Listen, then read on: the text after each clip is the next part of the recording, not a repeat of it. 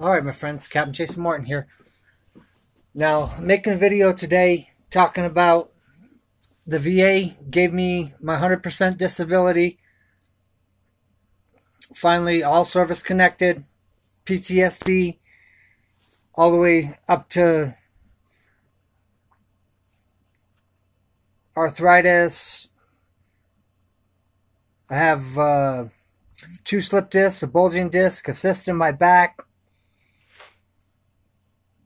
I have uh, a broken tailbone. I have a lot of issues, but the PTSD was the main issue. And I'm just glad they finally gave me the 100% because it gives me the money to pay for my house, to pay for my child support. You know, it was hard living month to month even not even knowing if I would have the food to eat day by day. I still don't have a car, which I'm going to have to get again since the city took mine and gave it to a tow agency and then the tow agency gave it back to the bank and the bank sold it at auction. All this stuff that I've been dealing with that finally is over with and I don't have to worry about it anymore. It's a big weight off my shoulders. Just don't even know.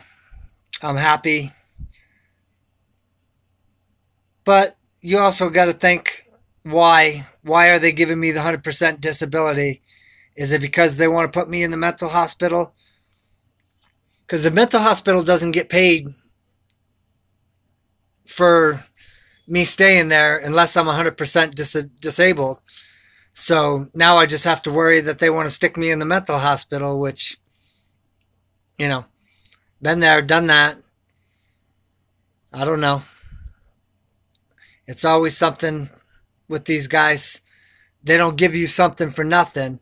So it goes from the 80% that I'm at now, $1,700 to a month, to 100% is $3,200 a month. So, I mean, that's just $1,500 that I could really use a month. And I didn't lie to the people when I saw them. I told them straight out. The only reason that I'm putting in for the disability is because I need the money. I ain't gonna lie.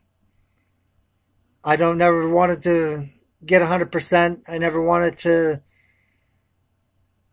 you know, worry that I didn't uh, give myself enough room to work if I wanted to work, to give myself the option. But it's just, I'm never probably going to work again. And with my bipolar disorder, which, you know, sometimes I get angry and I get angry easily, it was hard to find a job with that anyway. I should have been 100% all the way back from 2010. But they didn't give it to me. They gave me 90% and then they lowered me to 80% when they saw that my back was doing better from working and doing my own business for computers. They said my back had looked better because I was just sitting in a chair building, uh, you know, computers. I never had to be lifting heavy stuff. I never had to, you know, break my back at a full time job. I could do it as I wanted to, do what I wanted as I wanted to. I don't know. I'm still going to do my computer work. I'm still going to help people. I'm still going to do what I was doing before. It's just now I'm only going to do it for my friends and disabled veterans. I'm not doing it for everybody. I turned my house into a foundation and I'm helping disabled veterans. I'm going to volunteer at the VA, help disabled veterans. Me and the counselors at the VA have already talked about it. It's just what I want to do. I want to help people. But you got to help yourself, I found, before you can help everybody else. I mean, you can't uh, you can't help everybody if you're neglecting neglecting yourself. And I never realized how much I really neglected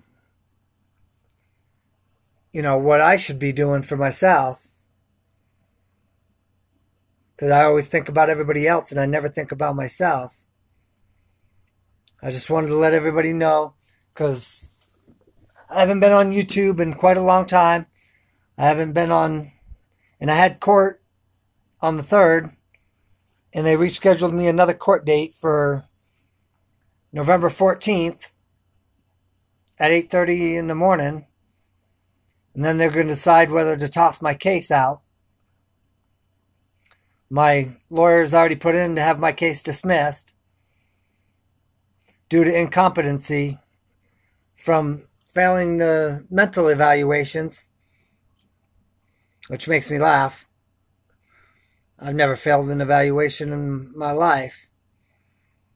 But if they say I'm not competent to stand trial and I'm not mentally stable, okay. Just because I talk about killing people. the Army trains you to be one way and then they don't like it when you turn around and